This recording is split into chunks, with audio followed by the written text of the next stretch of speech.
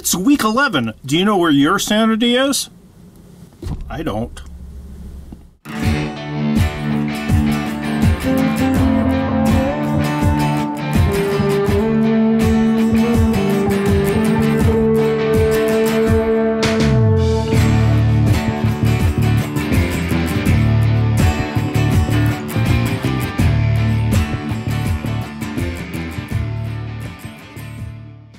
Hey everybody, welcome to week 11. We're really rolling through it now.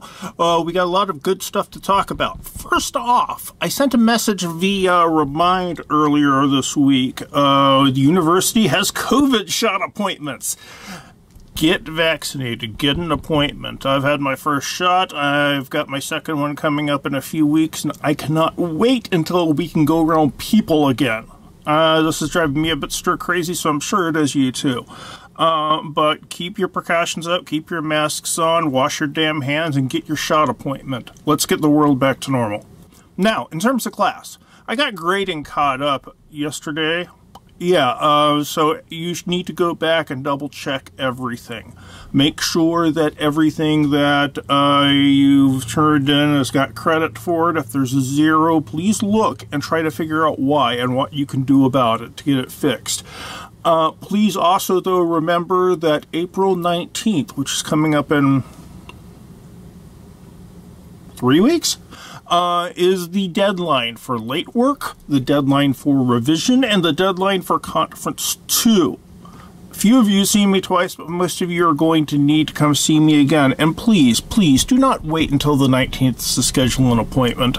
This happens every time, and I end up having to turn a few people away because I just don't have slots left. And I that would be a really silly way for you to lose points. Get me whenever you can. Send me a message via remind. Let me know when you're available amongst the grading I did, I did the research abstracts, and by and large, they looked pretty good. By and large, most people remember that evaluation was part of it, which is something I've had problems with in years past, but you got that. Rock on. However, in one of my classes, a lot of people thought we were doing memos instead of research abstracts. Research abstracts, that is a format just like instructions were a format. It's research abstracts unless the assignment asks you to do something else. Most of the people who got a lower than they want grade, it's probably going to be easy to fix stuff. But just you got to set up an appointment with me. We got to talk, and then you can go and revise your paper. But we've got three weeks, so don't wait too long.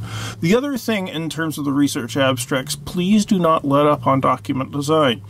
I saw a number of them that were still using sans serif fonts for body text. We don't do that. Um, the book assignments this week are all pretty individualized, so I'm not going to spend time here going over them. Um, you did have the editing assignments. I did a separate video for them. That's going to be in the week 11 folder. And that's most of what's going on this week.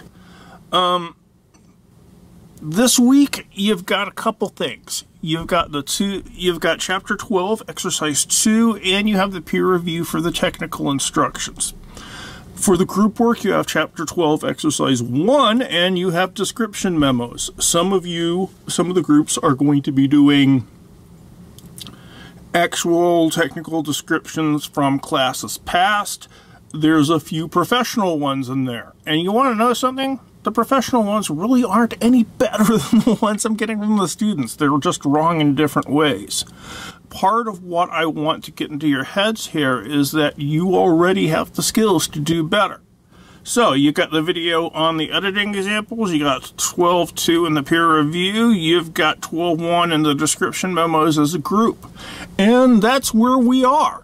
Um, research description is due at the end of next week, so it would be a good idea to go ahead and read the next section of the assignment sheet so you know what's coming up next. I believe we're starting work on the on the um, head working.